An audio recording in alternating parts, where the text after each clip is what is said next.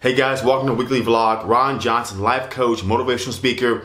I'm here to inspire and motivate you. Know you have a choice and you can do anything you want in this world. So today's vlog is gonna be about boredom.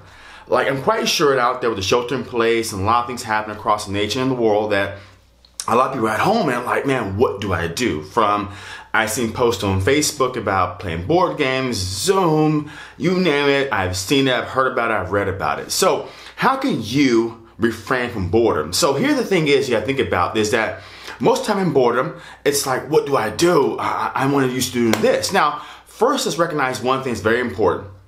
We're bored because we're out of our element. We're bored because we're out of our routine. We're bored because we're out of our comfort zone.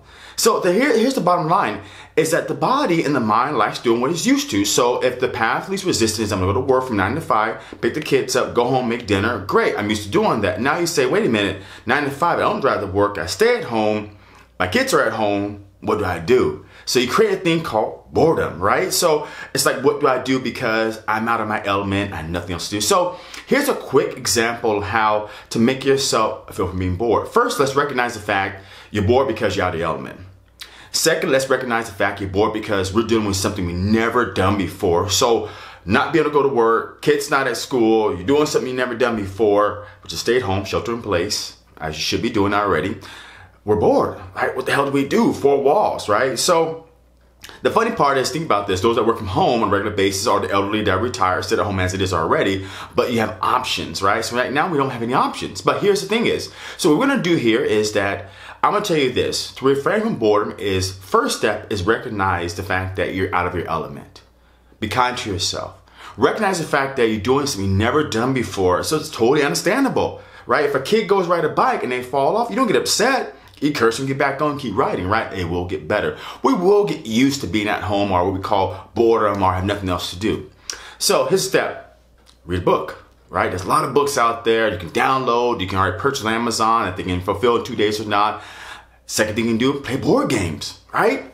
I mean, if you have board games at home, which most of us don't, unless you're born in the 90s, right, or the 80s, don't have board games at home, and if you go buy them now, you should only be buying groceries, but they may not be in stock. Uh, third thing is you can work out, right? Go some push-ups, you can do some sit-ups, some crunches. If you used to be in the gym, like I am, used to be in the gym, I gotta be very creative. I mean, I did a vlog video the other day about how to do walking lunges and how to do squats with using a five pound gallon water delivery that I've done, have, have done water delivery that I've delivered, so that way I can at least can maintain exercise. Fourth thing you can do, which is probably the most important one, but not the easiest, if there's something that you really, really want to do, here's the time you have to think about doing that.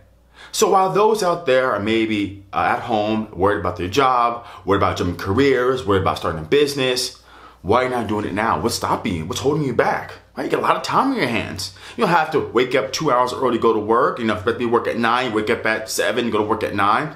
You have to battle traffic. Obviously, less stress because you're not out there battling traffic. Those that live in big metropolitan areas. But the main thing is that you can be do something you never ever done before, right? For example, I, start, I started shooting podcasts. Hopefully, someone will subscribe to my podcast out there about start shooting podcasts because heck, I never done it. I have the time to do it now. Why not do it, right? Fifth thing you can do is you can obviously communicate with your loved ones much better than before right? So if you don't have that great communication with someone you love, your parents, uh, friends, family, it's a perfect time to, you know, if this family you never talked to, pick up the phone, give them a call, right? You don't know what's going to happen. Sixth thing you can do is you can obviously look at posts or blogs on, on .com, right? I, I, use a website called addicted2success.com. I read their blog posts to get motivation. Maybe I want to be inspired. Seventh thing you can do is you can sit there and meditate Learn how to meditate. There's plenty of apps out there to meditate. Eighth thing you can do, shit, hell, you can cook if you want to, right? Learn how to cook or bake or do something you've never done before. Do that. Ninth thing you can do if you want to, watch Netflix and chill. There's something, a lot of things you can do, right?